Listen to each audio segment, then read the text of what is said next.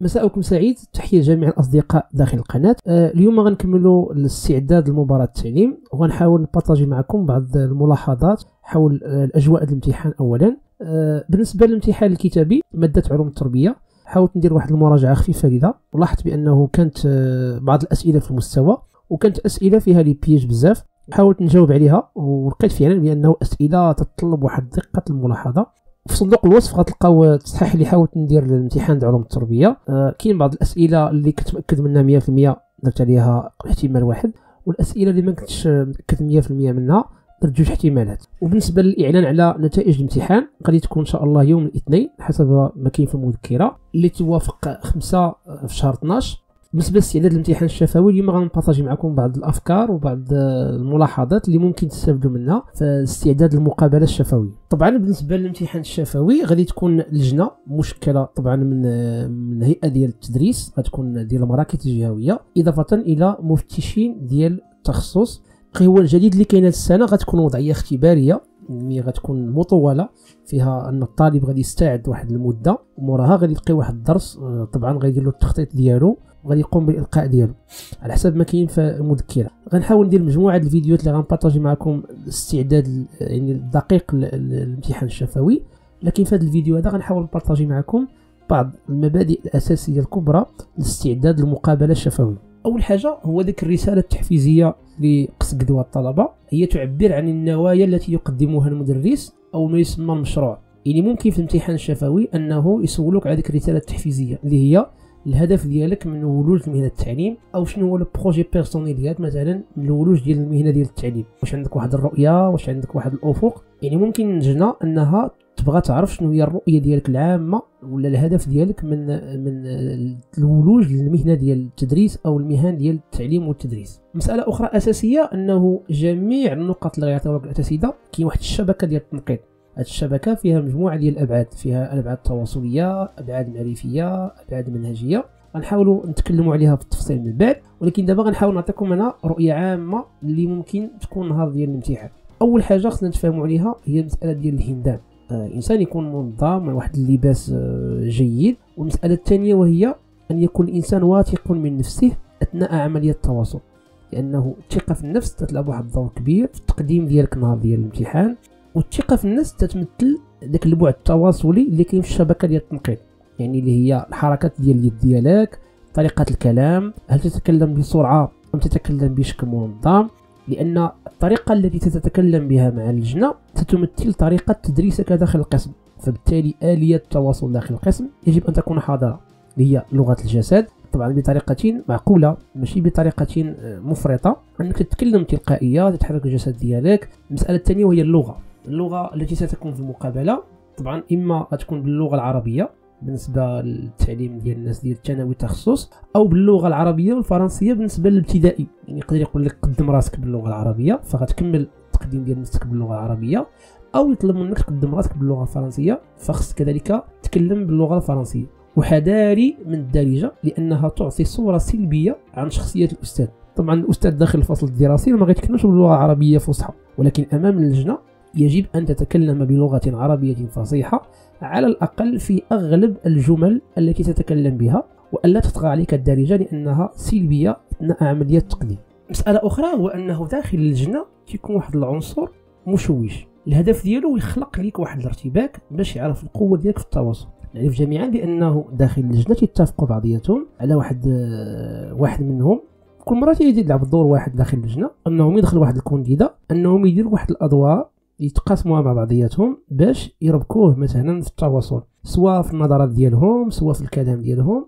هو الهدف ديالها هو طبعا راه ماشي هي ماشي مقصودة من أجل الشخص ولكن مقصودة من أجل أن هذاك الشخص يعرفوا القوة ديالو في التعامل في رد الفعل. مثلا لأنه ناضي غادي يقرأ للتلاميذ راه غادي يكون عندك تلاميذ متنوعين من الناحيه التواصلية فبالتالي تيحاولوا يقراو القدرة ديالك على التواصل وكيفاش تجيري المشاكل والاختلاف في عملية التواصل. إن هذا العنصر المشوش من الأحسن إنك تتفاداه وتحاول تكون رد الفعل ديالك رد بارد ورد عقلاني. أي فعل تتلقاه تتلقاه منه ما تقبلوش بشكل شخصي على أنه مس بالشخص ديالك بقدر ما تحاول تقراه على أنه وضعية اختبارية. خصك تعرف كيفاش تتعامل معها. أثناء إلقاء ديالك حاول إلا كانت آه، مطلوب منك أنك تقدم واحد الفكرة أو تناقش بعض الأفكار أو تقدم شي درس مثلا جزء ديال من الدرس. حاول توزع النظرات ديالك بشكل مقسم على اللجنه ما تحاولش تنظر على واحد وتبقى تركز النظر ديالك فيه وكل ما تدور الصبوه تكتب وترجع تشوف اللجنه تحاول تشوف فيه هو.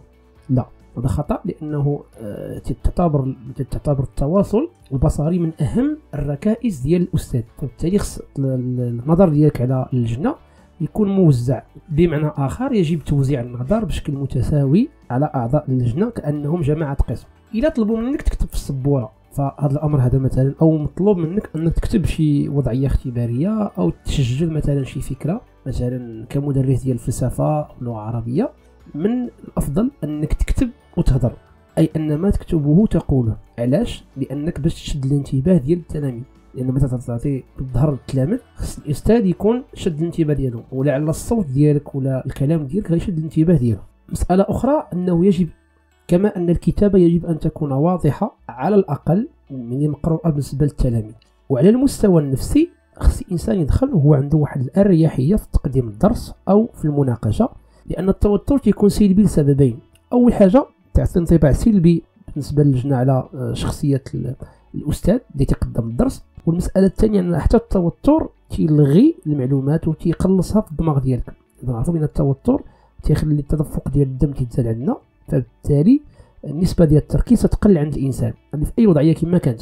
فالتوتر الزائد يقدر يكون آه، سلبي بدرجة كبيرة لواحد الكونديدا اللي تيكون مستعد مزيان ولكن بمجرد تدخل في حالة التوتر تيفقد الانتباه ديالو تيفقد التركيز ديالو. كثير من الأصدقاء اللي ناقشنا معهم هذا الأمر هذا وفعلا كانوا مستعدين وعندهم أجوبة صحيحة وفاهمينها وعارفينها ولكن أمام اللجنة وقع لهم واحد التوتر أمر اللي خلاهم يدخلوا في واحد الحالة الارتباك اللي هي غير مرغوب فيها أثناء الامتحان ومسألة أخرى أساسية وكنت مريت منها من التجربة ديالي أنا في 2014 كنت واحد واحد الأستاذ في اللجنة صراحة نبهني لها أنني بديت تنهضر وشوية بديت نخرج على الموضوع. ونبهني قال لي شوف ما تجاوبش على شي حاجة أكثر من داكشي طلبناه منك. لأن بحكم التوتر بقيت تنسرع في الهضرة وكذا. أه، حاول الأسئلة حول تاريخ الفلسفه وهذا وليت وليت ندخل ونخرج في الهضرة. يعني تنجاوب هنا ونقز هنا. فساعدني صراحة باش نركز كان تعامل معايا بواحد الشكل جيد. يعني هنا هذه مسألة أساسية أنه الإنسان يجاوب على المطلوب فقط. ما تخرجش على المطلوب اللي منك ما تزيد ما تنقص. وحافظ على الهدوء وتوزيع النظرات بشكل عقلاني. يعني مثلا مطلوب منك واحد الإجابة محددة. جاوب هذاك السؤال على قدر داك الشيء اللي مطلوب منك. طبعا الإجابة تكون مستوفية لجميع المستويات المعرفية المنهجية المضمونية. ولكن تدخلش وتخرج في هضرة مثلا. جواب مثلا هنايا وجاتك شي فكرة ونقصتي فكرة أخرى عندها علاقة بالموضوع. لا يكون جواب محدود. وأثناء عملية التقديم الإنسان يركز على الجانب التنشيطي لأنه تيحاولوا داخل اللجنه يعرفوا واش هذا الأستاذ يقدر يكون عنده أسلوب تنشيطي داخل القسم اللي هي نبرات الصوت ديالك واش فيها واحد القوة واش فيها واحد واحد النظام. المسألة الثانية طريقة الإلقاء ديالك واش فيها واحد التلقائيه وفيها واحد الثقه في النفس أثناء إلقاء الدرس ولكن واحد التردد وكاين واحد الخوف أثناء عملية إلقاء الدرس. وحتى بالنسبة للكلام الإنسان ما يكونش متسرع في الكلام ديالو يكون الكلام ما يكونش ثقيل لأنه إذا كان ثقيل بزاف غادي يكون يجيب النعاس للجنة وحتى للتلاميذ وفي نفس الوقت ما تكونش وتيرة الكلام سريعة لدرجة أنه آه، ما تياخذش نفس أثناء عملية التكلم. لا يكون كلام يعني آه، معقول بطريقة منظمة. وعلى حسب اللجنه مثلا واش السؤال تيخص مثلا تلاميذ ديال الثانوي إعدادي ولا تلاميذ ديال الابتدائي؟ يعني على حسب اللجنه فخص تكون الاجابه توازي نمط التلاميذ اللي غادي يقريهم الأستاذ. مثلا كان مطلوب منك تشرح درس الثانية ابتدائي مثلا في واحد المجال فخص اللغة ديالك العربية واخا تكون فصيحة تكون لغة بسيطة وتكون آه، خفيفة وفي نفس الوقت تكون واحد السرعة ديال الكلام مقبولة اللي تخلي التلاميذ يسمعوا كلمة كلمة ويفهموها ويدركوها مسألة أخرى مسألة أخرى التركيز في الإجابة. لأن يجب أن تكون إجابتك دقيقة حسب المطلوب منك. لأنه ديك المعلومات اللي عندنا الموسوعية راه ماشي مهمة. اللي مهم هو دقة الإجابة. يعني أنه يعطيك واحد السؤال اكزاكت ما تحاولش تدور وتحاول تخرج وتدخل في السؤال. لأنه هذا الجانب هذا تيحاول يبين أنك تتراوغ في الإجابة. لكن تكون عندك القدرة على أنك تعرف شنو هي المعلومة اللي مطلوبة منك أو شنو هي الفكرة اللي مطلوب منك وكيفاش تصيغها بواحد الشكل منطقي وعقلاني وبشكل منظم بعض اللجان ممكن تسولك على البحث ديال الإجازة ديالك أو على البحث ديال التخرج ديال الماستر على حسب شنو هو المستوى اللي عندك. يعني يقدر يدخلوا معك بعض التفاصيل حول البحث. فلذلك الطلبة يحاولوا يديروا مراجعة للبحوث ديالهم اللي داروها. خصوصا إذا ذكرتي للجنة على أنك حاصل مثلا على ماستر أو حاصل على شي ديبلوم فيقدروا يسولوك على شنو هما المجالات اللي تعلمتي أو بالضبط شنو هي الفكرة العامة اللي تعالجها البحث ديالك. اذا هنا غنكون ساليت هذا الفيديو اللي هو فيه توصيف عام. الفيديو الجاي غنحاول نهضر فيه على الشبكة ديال التنقيط ديال الامتحان الشفوي. فخليكم معنا. الا عندكم شي أسئلة ولا شي ملاحظات خليوها لنا في التعليقات. أه، بالنسبة للتصحيح أنا ما بغيتش ندير فيديو عليه باش ما نضيعش الوقت لأنه شنو الفائده ديال أنني نقدم تصحيح في حاله إذا الأمور دازت. فالناس اللي بغاو يعرفوا أكثر راه حاولت نديرها في واحد ال article كاين عندي غنخليها لكم في صندوق الوصف. اضافه لبعض المقالات اللي عندها علاقة بمجال ديال التكوين وممكن تفيدكم كذلك في الامتحان الشفوي. إذا بالتوفيق للجميع ونتمنى أنكم تسمعوا خبر الخير إن شاء الله نهار الاثنين ونتمنى أنه كل واحد اجتهد وعمل وخدم مزيان ينجح والله يوفق البقيه إن شاء الله امتحان الشفوي.